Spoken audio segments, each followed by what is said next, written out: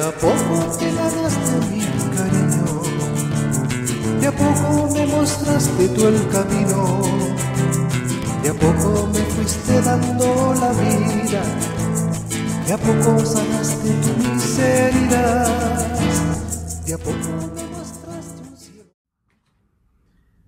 Estamos robustos en el amor, ya sabemos lo que es el amor verdadero, el amor del Señor repetirlo y repetirlo y que no nos cansemos de repetir, que el Señor nos rebalse, nos rebalse, para que donde vayamos, vayamos esparciendo su amor. Y vamos viendo cómo nos va iluminando esta palabra de Dios, nos va iluminando el Espíritu Santo. Y terminamos 1 Corintios 13 y vamos a comenzar 1 Corintios 14, 1. Y como subtítulo dice, los carismas deben ser útiles a la comunidad. No para decir, hoy yo sé, yo tengo tantos dones y hoy me engordo. No, es para que tú lo vayas y lo entregues. Eso es lo que el Señor quiere, te llena de Él para que tú vayas a entregarlo a los demás.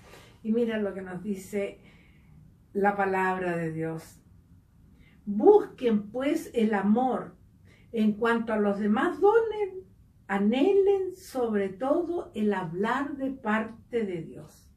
Palabra, de, palabra de Dios que me da, que me ilumina y me dice que yo anhele el amor y dentro de todos los dones que me dé, anhele sobre todo el hablar de Dios. Si es lo único que debemos hacer, hermano, ay, qué pechones, ya va a salir con Dios, ya va a salir.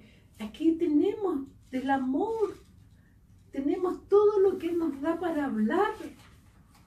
Y vamos a ver que tanta gente lo necesita, hermanos queridos, porque muchas veces, ¿qué es lo que hace Él?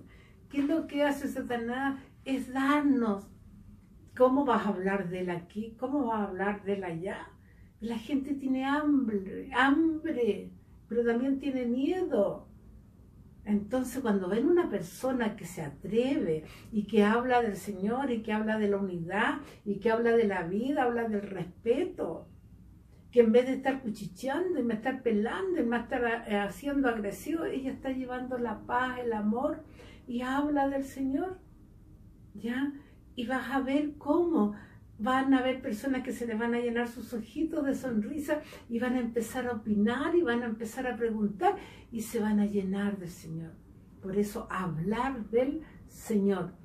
Ahí está el servicio. Y vamos a ver qué servicio nos toca hoy día. Nos toca el octavo servicio según los números de nuestra querida Santa Teresa de Calcuta. Y dice, servir es descubrir que mientras alguien sufre en el mundo, yo seguiré teniendo una misión. Mira qué maravilla. Mientras haya alguien que sufra, tú tienes la misión de ir a consolarlo, de ir a ayudarlo. ¿Y a acabar el sufrimiento? No se acaba el sufrimiento, por lo tanto tu misión nunca se va a acabar. Y a veces la misión está al lado nuestro, está en nuestro prójimo, próximo, que está ahí al lado nuestro. Y a veces no nos damos cuenta. Así que hermanos queridos, hoy día tenemos que anhelar hablar del Señor, sirviéndolo como nos dice acá, en la misión de ayudar al que sufre. Y hay personas que sufren por algo material, por lo monetario, pero hay personas que sufren en su corazón, sufren porque se ven alejados del Señor, se ven que se han alejado y que no lo están pasando bien y no hayan cómo volver.